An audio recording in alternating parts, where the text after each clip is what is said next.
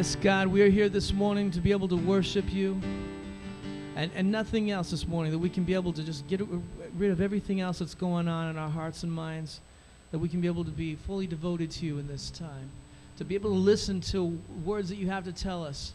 I pray that you'll help us to clear our hearts and minds of everything but you, Lord, that we can just be filled with your presence, that whatever the, the decisions that we need to make this week, we'll be able to have you on the forefront of our minds, that be able to know that we're, that we're following you, God, because you are filling us, and there's nothing else that could be guiding us, Lord. I pray that you will offer that for us, that we can be able to, to be able to feel that, that we're making the right decisions, that we are and you, surrounded by your will and your glory. In Jesus' name, amen. Amen. Amen. Why don't you go ahead, grab a seat. Welcome again. If you got here a little late, my name is Pastor Greg Hintz, and we are so glad to have you here today. Only two weeks left in our current series, the series that we're doing called Unshakable. And what we've been doing in the course of this series is just digging deep into one book of the Bible. In fact, it was a letter written to Timothy from Paul called First Timothy. And so we've just been really digging down deep and getting into that. And it's it's been good. It's been a good journey for us as we've been able to dive into God's word. And we've been able to look and talk about a lot of different things. And today, as we transition into a new chapter, we're going to be looking at something else. And, you know, a story that sort of came up this week about what we're talking about and sort of the journey that we're going on. It reminded me of a story of a young girl who was running late to Sunday school. She was all dressed up, and it was on her. She had to go from her house to Sunday school, and it was a long run, a run through the woods, and down the street in order to get to the Sunday school. And she was late, and so she was running just as fast as she could. And as she was running, she was praying. And her prayer was simply this Lord, don't let me be late for Sunday school. Lord, don't let me be late for Sunday school. And as she's running, she hits a rock and she trips and she lands face first on the ground. She's all dirty and her dress is torn. She stands up and she's wiping it down, but she knows she's going to be late, so she starts running again. Except this time her prayer changed. She said, Lord, please don't let me be late for Sunday school, but you don't need to push me either.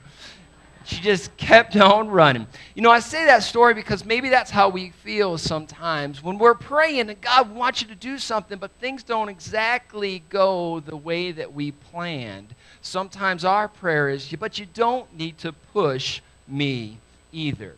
What we're looking at in the course of 1 Timothy is really understanding how to build a foundation on our lives that's solid so we can become unshakable. That's the goal of what we're looking at. And we see that Paul is giving Timothy clues on how to build an unshakable life.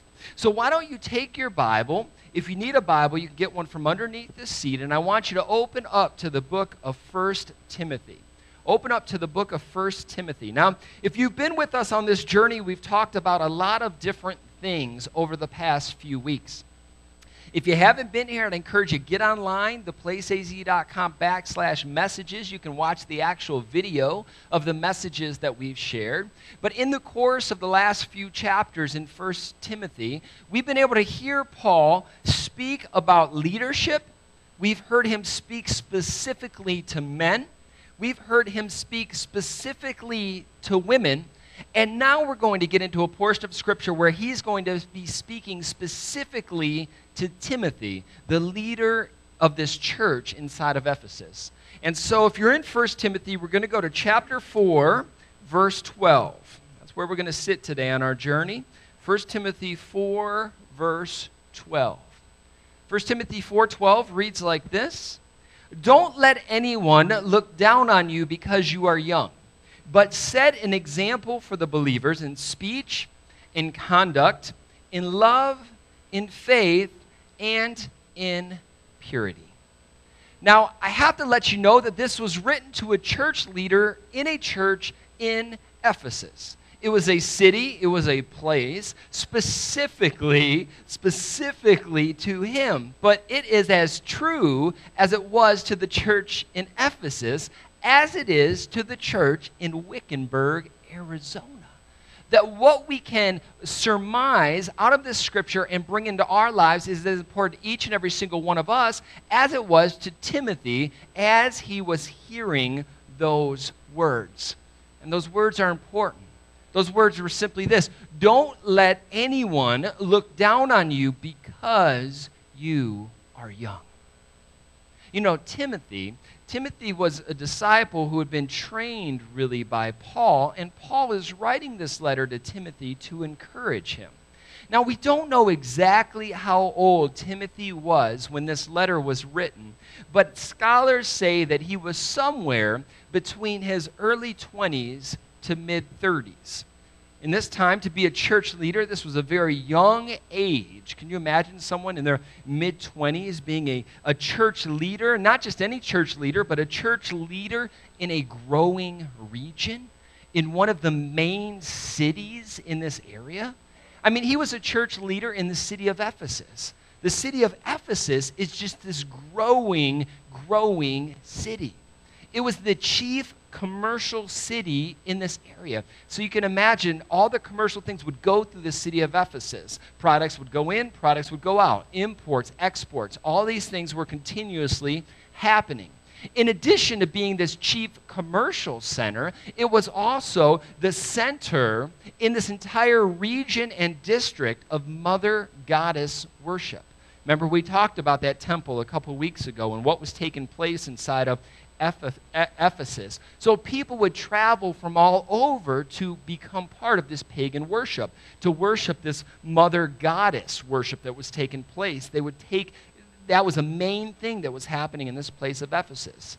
And one thing that you may have not known before this morning is that Ephesus had a population of around 300,000 people.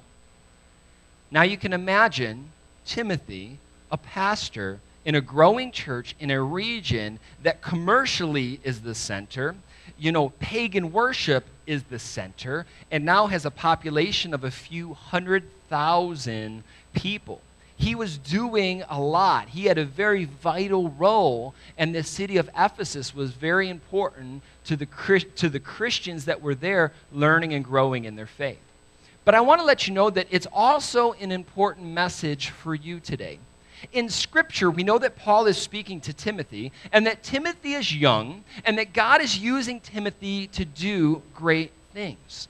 But I want you to know today that he wants to use you to do great things too. Now, you may not be at the place where people are looking down on you because you are young and trying to do great things, right? May not be, maybe it is, maybe it's not, you know? But we're in a place where we're stepping out and we're trying to do great things, and we're like, I hear what Paul's telling Timothy, but that doesn't relate to me. We, we may think that way. But what are some things that people look down on you for that would stop you from doing what God has called you to do? For some of us, maybe it's our past. Maybe it's the things that we've done in the past, and now we're following Christ and we're trying to live our lives for Christ, but the people that are looking to us are continually bringing back who we were, not who we are. And before we know it, we find ourselves being pulled back towards that in that direction or thinking how can i possibly stand and do this when all people see is who i was in the past? And so we find this thing weighing ourselves down. That those same words would be true for you today. Don't let people look down on you for who you once were right? But look at yourself at who god has created you to be today Stop listening to the folks who are trying to tear you down and start listening to the God who has the power to enable you to do great and mighty things in this world. Amen? Who are we listening to? And, and, and that's what Paul is trying to communicate to Timothy. Quit listening to the people and start listening to me as your spiritual leader, but start listening to God and the plan that God has for your life. And that can be really intimidating. Because for some of us, it scares us to have people follow us, right? Because we look in the mirror and we're like, I am messed up, right? You know you messed up. If someone knew the real you, not the you that everybody sees, the thoughts that you have, you're messed up. And now you're going to be saying, All right, follow me. How can we possibly do that?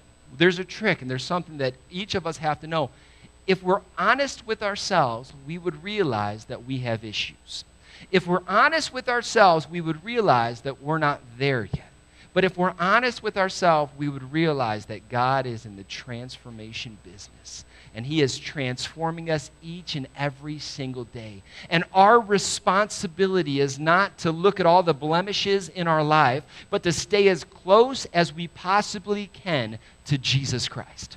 That's your responsibility. That's my responsibility. My responsibility is to be as close to Jesus as I can, to have a conversation regularly with Him, to be actively involved in my devotional life, opening up His Word, letting His Word come alive on the inside of me, changing me, conforming me, making me into who He wants to be. And then in that moment, as I am trying to stay as close as I can to Jesus, I can look at people and I can say, Follow me as I follow Christ.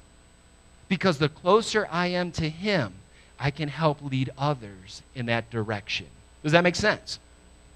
So that changes everything because it's, it says that you don't need to have everything perfect before you start reaching out to folks, but your job is you need to be as close as you possibly can to Jesus because wherever you are, that's where you're going to be taking people. And so the true test comes in your life. Are you a disciplined believer in Jesus Christ? Are you actively in God's Word? Are you actively praying and seeking His face? Because in that moment, you're close to Him so that when you lead others, you're leading them in the right direction. And you can make that statement follow me as I follow Christ. And so Paul tells Timothy, don't let them look down on you because your age. But then he follows that up, but he says, but set an example for the believers. And so he's saying, I want you to live your life in such a way that when people see you, they see Jesus. Amen? And he begins to unpack different ways that we can do that. Now remember, these words is good for the church in Wickenburg as they were the church in Ephesus, and they're as good for you as they were for Timothy when they were written thousands of years ago. So we have to look at these things and begin to apply them to our lives. Set an example to the believers. Okay, set an example to the believers. How do I do that? Paul says this set an example to the believers in speech. In speech. The Greek word that's translated speech is the word logos. Logos, where we get the name for our library. Literally, if you were to take that down, logos, where that's the spoken word, right? That which is coming out. It could literally be translated as words. But set an example in your life with the words that are coming out of your mouth. Now, this can go into a lot of different areas when you think about it. I mean, maybe for some of us, it's, it's, it's the words that come out. Are, are we putting out words that are building up? Or are we putting out words that are tearing down? Are we putting out words to destroy? Are we putting out words that are helping people become better? The words out of our mouth make a serious effect and difference in this world. And so we have to pay attention how are the words coming out of our mouth? What is coming out of our mouth? Is it edifying towards Christ or not? That's a decision that we have to make. You know, for some of us, it's, it may not be uh, how we speak to others, but maybe the things we say about ourselves. You know, for some of us, maybe we like to stretch the truth a little bit or maybe lie just a little bit. I love Jesus' advice about this in Matthew 5:37. He said, all you need to say is simply yes or no. He said, anything beyond this comes from the evil one. I love that. Just let your yes be yes and let your no be no. And you're like, okay, oh yeah, that's so easy, right? I mean, it's not easy all the time because sometimes it's difficult, right? Like this guy, like he comes up to me and he's talking about his new haircut. And he's like, hey man, what you think of my new haircut? Now, I want to say you look like an electrocuted rooster. I mean, I really, really do, you know? But what will I probably say? Oh, that's a hip new style. That, you could pull that off well. It looks good on you. No, it doesn't, but I don't want to tell them the truth, right? It's easier in that moment to lie. I remember I used to sell real estate, and selling real estate is difficult sometimes because sometimes you're encouraged to stretch that truth, right? Just a little bit. I remember, you know, you go into a house and you see a house that was totally destroyed by, by a dog, and you're just like, oh man, and how am I going to write this up? You know, and before you know it, you're sitting down and you write, excellent house for pets, you know, and, and you just stretch that just a little bit, you know, or you know, in my area where I'm from, you know, you see a house that was all shot up, you know, an old crack house or something, and you'd write down high traffic area. And uh, it would be true at many different levels. You know what I mean? Uh, you would stretch that truth a little bit. Well, in our lives, we really need to find the place where we're able to talk to people and say truth to them. But here's the key because some of you are so far on the truth side, you're just offensive. Uh, that we have to find a way to balance grace and truth. In other words, you can say truth to someone, but you can pepper that truth with grace, respecting them, respecting sort of where they're at, but never, never stopping from saying the truth. In fact, sometimes in a conversation, if I know that I'm going to have to say something difficult, something hard, I'll actually tell them ahead of time do you really want to know the truth?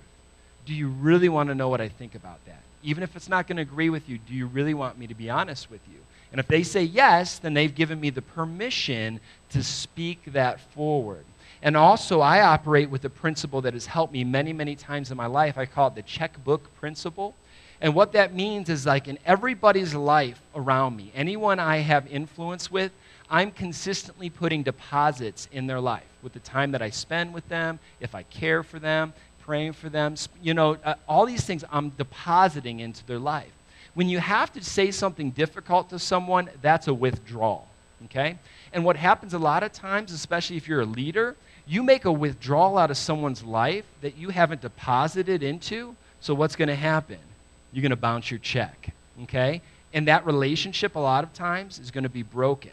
And so in my life, I'm consistently, I want to make more deposits than I have to make withdrawals. And so if I have someone that sometimes I have to speak serious truth to, I'm going to make extra deposits in their life because I love them enough that I know there's going to come a day when I'm going to have to say a tough truth to them, and I want to be able to take that withdrawal. That makes sense?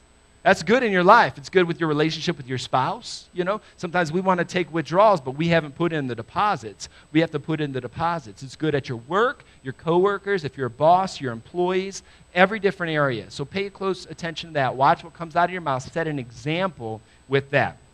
Next one we have is set an example for the believers in conduct. In conduct. Uh, this word is actually a Greek word that is used 13 times in the New Testament. The Apostle Peter used it eight times in 1st and 2nd Peter. Now, this idea of conduct is our actions, how we act. It's interesting, Peter would use this more than any other biblical author, that he would use this actions word over and over again. Almost like he understands, looking back at his life, there's some actions that had affecting, affected him profoundly. Well, for me, when I read 1 Peter 1 14, 15, and 16, it made perfect sense when I read this, set an example with my conduct. Peter said this. He said, As obedient children, do not conform to the evil desires you had when you lived in ignorance. But just as he who called you is holy, so be holy in all you do. That word is that word used conduct in all that you do, for it is written, Be holy because I am holy. So we're called in our lives, our actions are called to change to reflect God. Be holy as I am holy. Be holy in all that you do. He's speaking to believers, he's speaking to you, and he's speaking to me. 2 Corinthians 5:17 says this, "Therefore if anyone is in Christ, he is a new creation. The old has gone and the new has come." We're new creations. We've been transformed. Our lives should look different. Someone should be able to look at me today and say, You're not the same guy that you were 20 years ago. And I'm not because God has changed me and is changing me. You know, the number one complaint with non Christians when they look at the church and when they look at believers is simply this they say, they're nothing but a bunch of hypocrites. You guys must have heard that before. They're nothing but a bunch of hypocrites. I, I've had in my life that I've had seasons where I've lived a life of duplicity when I was living the life of a hypocrite in that season of my life, it's interesting because even though I was a Christian, I wanted to keep that a secret. I didn't want people to know that I was a follower of Jesus because my conduct didn't line up with my words. What I was doing didn't line up with what I was saying. So I didn't want to bring Jesus into the way that I was living. Listen, maybe that's where you are today. I want you to know that you're not alone and that God is in the process of changing you. But in order for you to be changed, in order for me to be changed, I had to reach the place in my life when there was total and full surrender. He wanted me to give everything over to Him.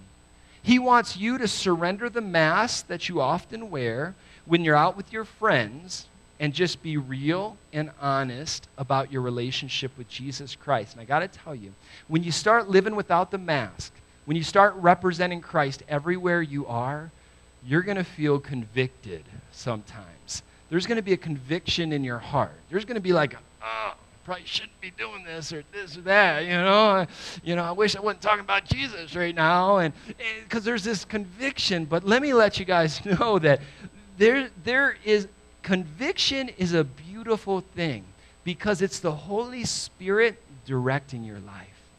And I got to tell you, whenever I'm outside of the will of God or I'm over in an area that I'm not, and I get a conviction from the Holy Spirit, I'm like, thank you, Jesus.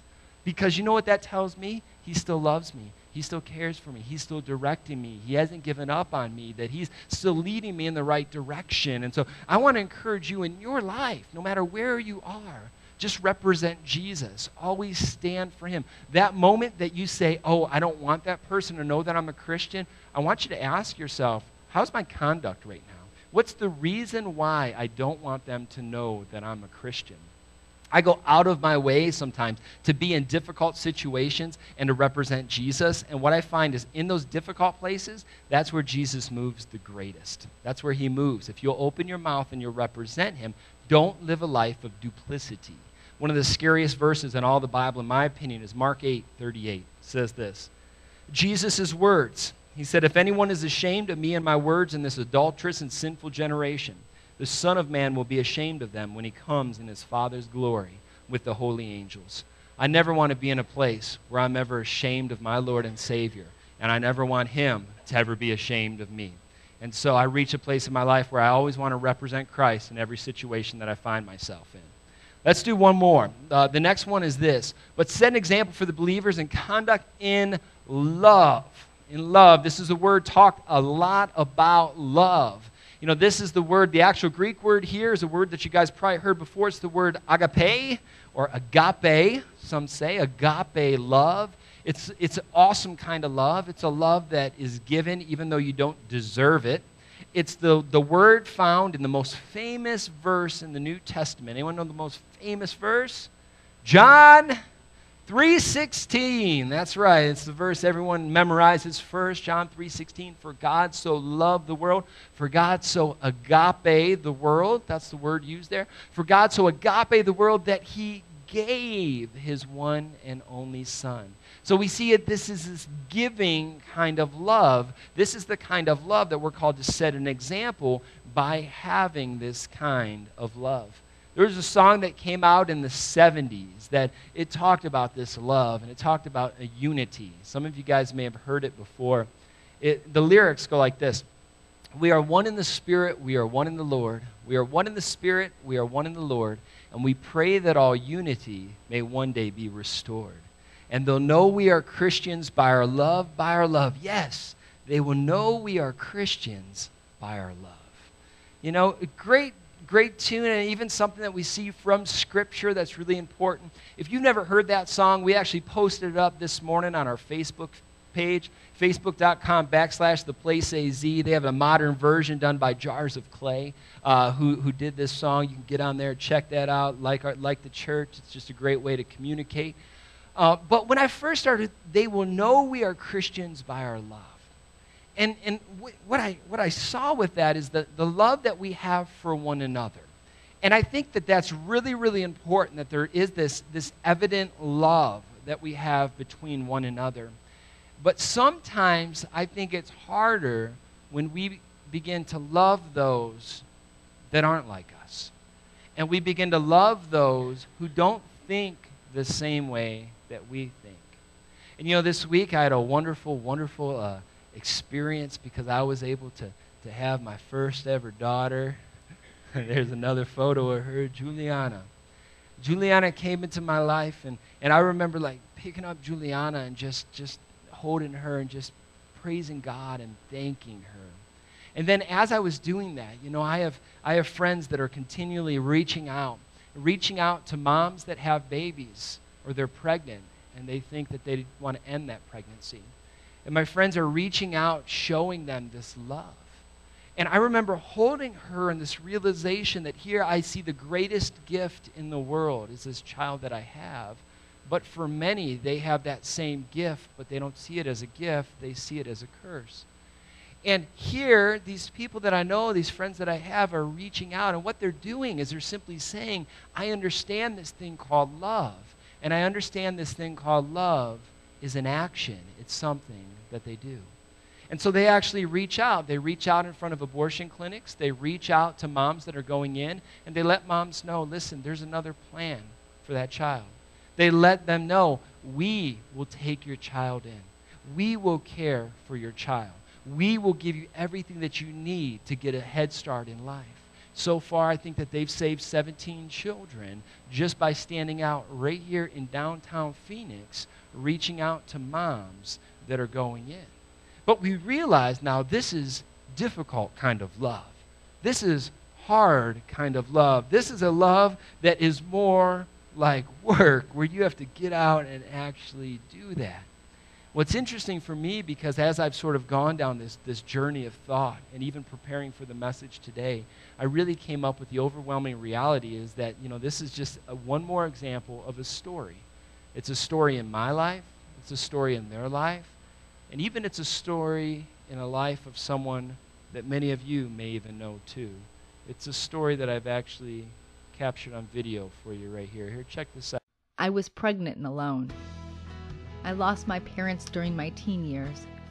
My sister had moved to the other side of the country, and my fiance had disappeared three months ago. I'd been waiting, hoping he'd come back after getting cold feet about the wedding and fatherhood. We met while we were students, with dreams that one day we could afford more than our small incomes would allow. Now our dream world was going up in smoke.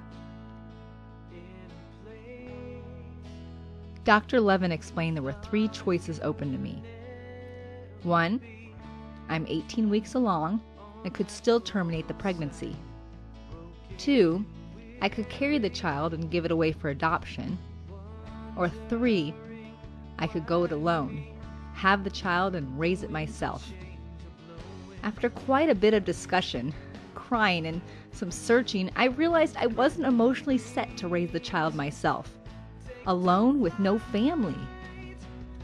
Torn up and crying, I made an appointment with Planned Parenthood. This wasn't exactly what I wanted, but I refused to be destroyed by this unwanted child. I also set up an appointment with an adoption agency in case I changed my mind.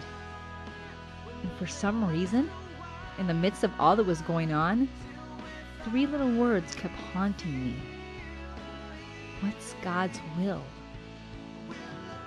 After my initial appointment with Planned Parenthood, where I scheduled the termination, I came home and noticed my bottle of prenatal vitamins sitting on the counter, reminding me that I forgot to take them that day.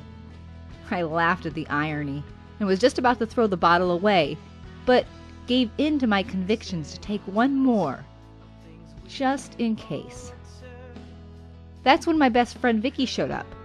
She drove me to a Christian pregnancy center and then afterwards dragged me to hear some new author speak at the small house church.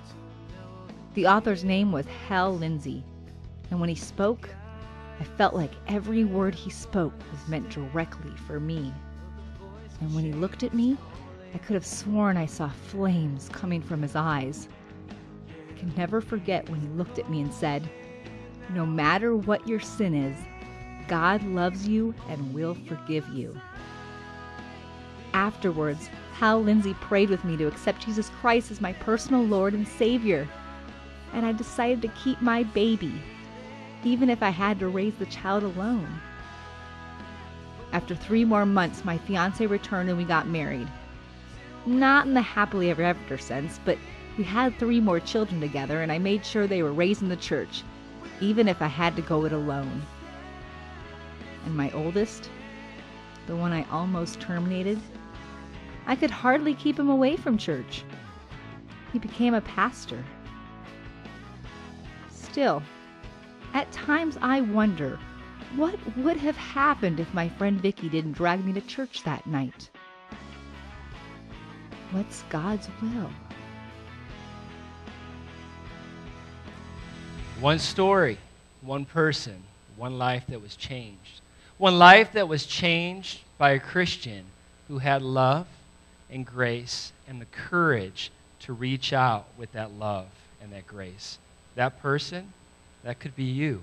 All of us are here, and you know we know Pastor Adrian, and we've grown to love him, and we're learning about his family and so much more. You guys have just learned a little bit more about him, and one person that reached out to his mom.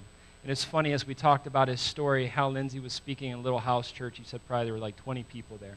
He may have left and not even known about the impact of one prayer with one person and how it's impacting generations. I want to encourage you as the church today to be that one voice to one person to change this world. Amen? Amen. Let's pray. Will you bow your heads with me? God, I thank you so much for our stories. I thank you so much, Lord, for seeing your hand in our life, Lord. Even when we can't do it ourselves, Lord, that you are working on our behalf. Why? Because you have a plan and a purpose for each and every single one of us. Today, Lord, we want to be inspired to be your hands and to be your feet, to shine you bright to this nation and this world, to let others know that there is a plan for their life, that there is a purpose, and that purpose is Jesus Christ, and that he came to live, to die, and he rose again for them, to show them a perfect love. And Father, I pray for each and every single person here today, Lord. Let them walk with you in this perfect love. Let them shine that love, Lord, to, to those that are easy to show the love to and those that are difficult, Father. But just let them be continuously shining your perfect love to this world. And as we do, as we show that love, we know that many lives will be touched and impacted for generations. We pray that in Jesus' name. And everyone says, Amen.